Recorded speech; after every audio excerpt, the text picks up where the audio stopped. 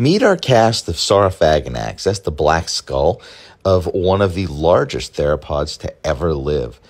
We are assembling the skeleton to see which bones are made of the original elements and which ones were sculpted.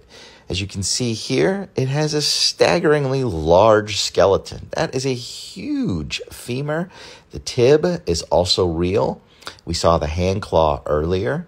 The tail goes on for days, but we discovered that our cast is currently missing a section of the tail. It's somewhere in a crate. We'll track it down.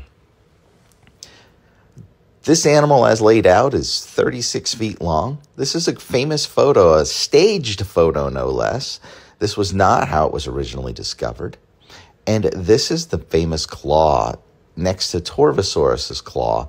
I didn't think anything could make Torvosaurus look small, but that is a gigantic cast right there of an original bone. Here's me for scale holding an Allosaurus skull, and there's me standing next to or laying down next to the hind limb. These are the bones before we started.